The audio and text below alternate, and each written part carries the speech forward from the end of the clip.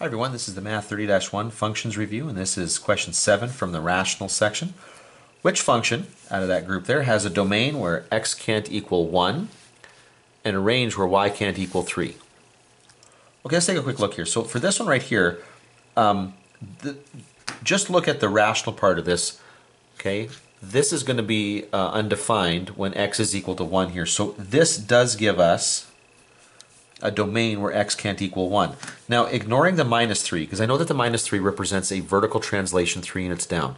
Just look at the, the function here, this rational function, the degree of 1, the degree of 1, okay, meaning that the, the horizontal asymptote here will be the ratio of the leading coefficients, so 1 over 1. This is going to have a horizontal asymptote at y equals 1, okay, which is the, the gap in the range here. Now, move that down 3, meaning that the range here is going to be y cannot equal negative 2. Well, that's not the thing that we're looking for. So we move on. Uh, this one right here, in order to work this one through, we got to do a little bit of solving. Now, first of all, we should notice that, the, again, the ratio of leading coefficients, okay, because the degrees are the same, numerator and denominator, the ratio of leading coefficients is going to be the horizontal asymptote. So we can tell right now that the gap in the range is going to be at 3, okay, which is what I wanted here. Now, I'm going to factor the numerator out, and I'm going to get 3x times x minus 1. And then the denominator will factor down as, what is that, x minus 1, x minus 3. Okay. And now notice, oh, sorry, did I get that right? Just going to double check that. Notice that x minus 1 over x minus 1, we are running into an issue here. x cannot equal 1.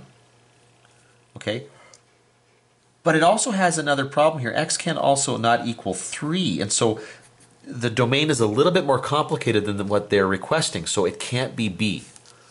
Now I come over here. Again, comparing the degrees, it's linear over linear. So if I compare the leading coefficients, I'm going to get 3 over 1. There's my, there's my horizontal asymptote. There's my gap in the range. And x minus 1, well, this is going to be undefined when x is equal to 1. So x can't equal 1. There it is. There's my answer, uh, C.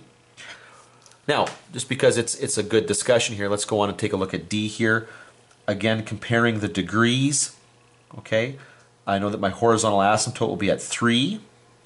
And again, there's my gap in the, in the range there. The denominator, though, this will be 3x squared.